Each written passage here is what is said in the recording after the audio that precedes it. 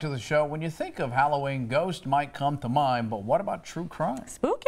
Caitlin O'Connor is here today from Lexington's Blue Stallion Brewing to test our knowledge of true crimes and tell you about a great event where you can test your knowledge of it as well. Caitlin, great to have you with us today. Hi, thank you so much for hosting me. Good to see you. Good to see you. Yeah. So I've got some spooky questions to ask you to kind of kick off our true crime trivia Okay. tomorrow. Are you ready for this? So, but We're wait a minute, ready. before we do the questions, we come We're to the place. ready. Do we sign up? Uh, how do we Oh, get? yeah. So it starts tomorrow night on Halloween at Uh-huh. 7 o'clock. Just show up and grab your information from local trivia action. They do all of the themed trivias around town, as well as the kind of weekly shows. Okay. that different breweries and bars and restaurants host. All right, So so- just come on up anytime. I suggest getting there early to get a seat, but it starts at 7 and it's going to be a great time. All We right, always have ask, fun. ask, So much ask a fun. question. Here we Okay, go. you ready? Okay.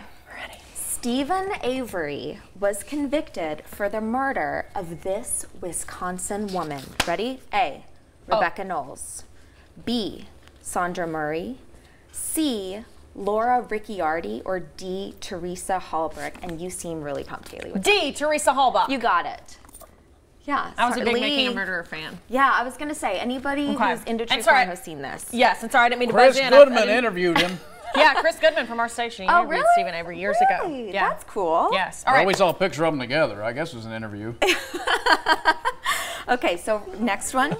Which serial killer enjoyed dressing up as a clown for charity events? And this one I pretty much already know, but okay. Really? Dressed up as a clown Yeah, for charity right? events. Weird, weird. Like spent a lot of time around kids. Is this whatever. multiple choice too? Yes. Okay, fire okay. away.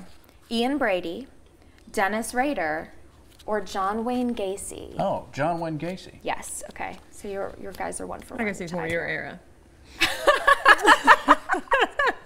Just kidding. Okay. Okay, up next, this person is the most prolific serial killer known in U.S. history. and Hayley this one's multiple choice, too. Oh, What'd you say? nothing? Okay. Gary Ridgway, Jeffrey Dahmer, or Paul Knowles? I want to say hmm. Jeffrey Dahmer because I bet I've it's only, not. but he's not serial killer. What? Well, no, he is. I don't know. I'm What do you mean he's not a serial killer. I killer? mean, he is, but I don't think But he I, has to I be just the don't think you you because he was obviously the most famous person in that list. So I think this is a trick question. To I'm get gonna say- go for Jeffrey Dahmer. Ooh. See Paul Knowles. Ooh, I'm, I'm disagreeing with you. It's Gary Ridgway, Green River Killer. Oh, of oh. course. He killed like 48 women, but they think it might be as much as 70. Wow. Oh my Guy's gosh. So Weird. this is just a night of laughs over to Blue Stallion. Yeah, it's gonna be you a great come time. and you just yeah.